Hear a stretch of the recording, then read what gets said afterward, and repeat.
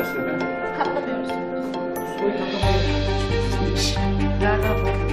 Aziz vatandaşlarım, Cumhurbaşkanı